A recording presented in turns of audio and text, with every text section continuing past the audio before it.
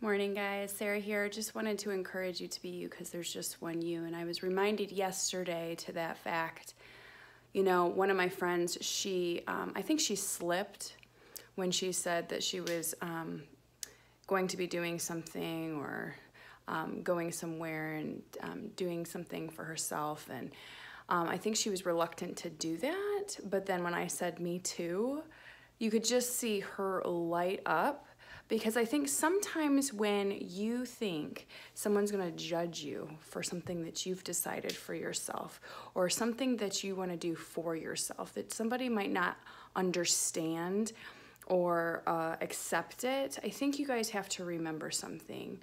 You will be liberated when you stay true to yourself, when you understand that what you're going through and what you choose to do as you do go through these things and do things for yourself, it doesn't matter who accepts it or not. It doesn't matter who is accepting of you.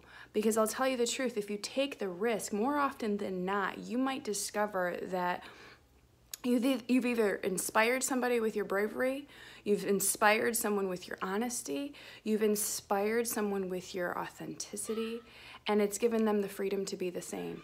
And Lord, I just I just hope that for you. I hope that you can be so free that you can take a risk and just put yourself out there. You know, share the things you want to share. Share the things you're excited about, even if you don't know for sure if they would understand. Because you might just find out that not only do they understand, but they're they're in the same boat as you. And so I just think that that was such a gift and such a nice reminder when I saw her her face lit light up because she she just had this big old weight fall off of her shoulders like like I was going to judge her. She wasn't sure, which makes me sad. It makes me sad that I mean, I, I mean, obviously we don't know each other that well. I haven't been here that long, but I hope all of you know that I would never, ever, ever judge you, ever.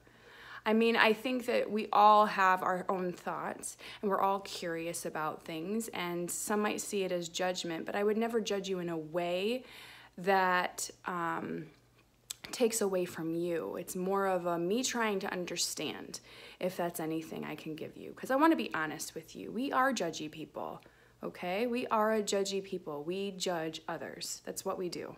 And I don't do it intentionally, and I certainly wouldn't do it to hurt or harm you um, or anyone that I know closely. And so I just want to encourage you to take the risk, be yourself, be open about it, and obviously discern who you share it with. I get it. I get it. But if it's someone you want to be close with, take a risk because the only thing that you will find out is if it's worth investing your lives together. You know, life on life is so important. It's the it's what makes the world go round. And so I hope that you were encouraged by this because I was. It was just the validation that I wanted to remind myself, to remind you that it's okay to be honest, be true to yourself, and you might just find out that you've got more people in your corner than you ever thought.